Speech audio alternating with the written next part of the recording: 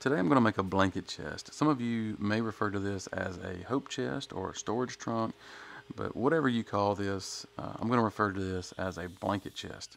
We're trying to do some organization in our house, and with three kids, that can be difficult.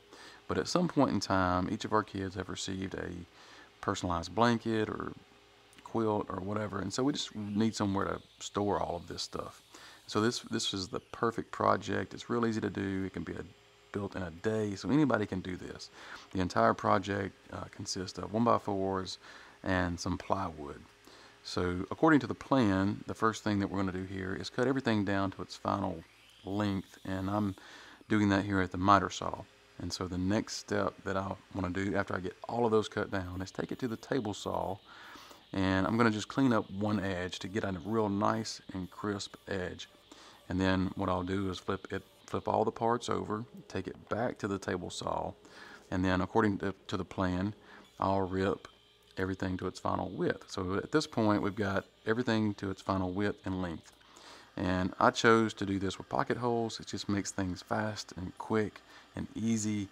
So here I'm putting everything together. I'm using a square just to make sure my corners are nice and square and at 90 degrees. And so I just put all of these frames together. We're going to end up with four frames. We want to measure and make sure we have our center dividers uh, in the right location and we glue and screw them and put it together and we end up with four frames. And so once we have that part of the project done, then we can move on to putting them all together. And so that's what I'm doing here, um, putting the four frames, uh, the four sides. I get two long sides, two short sides, and we're assembling this in the same manner as we did the face frames. The next step, we would go to the table saw and cut down a piece of plywood that is going to be the bottom. And so I pre-drilled all these pocket holes, installed it in the bottom of the chest, and so now it's starting to take shape and look like a piece of, piece of furniture. Uh, and so the insides, the, side, the panels, are also made from plywood. And I'm using three quarter inch plywood here. You can use uh, quarter inch, it'd be just fine. Um, but I'm marking on that this is going to be the inside of the chest. And so what I'm marking here are some uh, hole locations to drill into those center dividers of those frames to kind of pull everything nice and tight.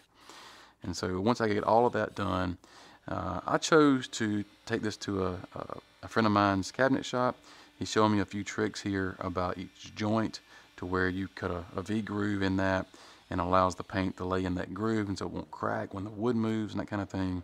And so we just put wood filler and some of the uh, imperfections and sand all that out. So we have a nice clean flat surface all the way around. And so he's going to teach me a little bit about spraying in this uh, in this project. So I'm learning a lot here. So he's mixing up the paint, and this is right here is one of my first ever sprays that I'm doing. And so he's just helping me along. I think this is probably one of the uh, sides or even the top that we're spraying here. And it's uh, really interesting the way all this comes together and just makes it for a nice, really good finish. Actually, all of this is just primer. We're going to get to the, the final paint here in just a second.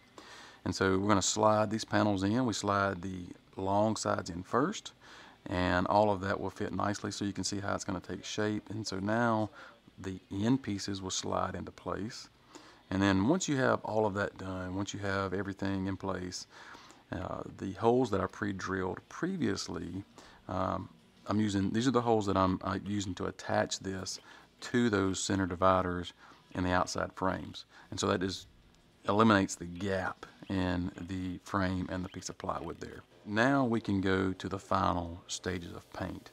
I'm going to just paint the inside of this and maybe do a little bit.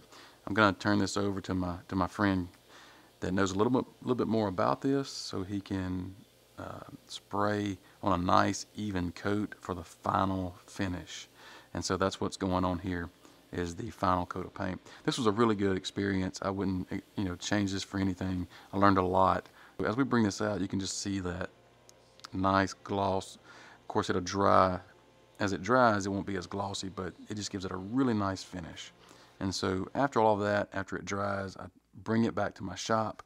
We're going to install this uh, frame over the top of the chest here. And so this is going to cover up all the plywood um, and just give it a nice finished lid um, appearance. And this is the top. And so the top will go on. We'll put a, uh, a long piano type hinge along the back side and then we'll just pre-drill some holes for each hole location. Uh, but what I do is go ahead and just find the center ones and attach the hinge uh, with the center holes uh, loosely. I don't tighten those down just yet, but once I get those in there um, and it's not real tight, then I can make sure the hinge is even on both ends when I mark and pre-drill those hole locations. And so once I have all of those locations marked, then I can go through and pre-drill uh, each hole location. And so once I have that, I can insert uh, each screw. And I'm using a manual screwdriver just so I don't strip it out with an, a cordless screw uh, drill or electric screw, screwdriver or whatever you might use. A manual screwdriver gives you that resistance to know when to stop. This is the final result of the blanket chest and I have to say that I'm very pleased with how this came out.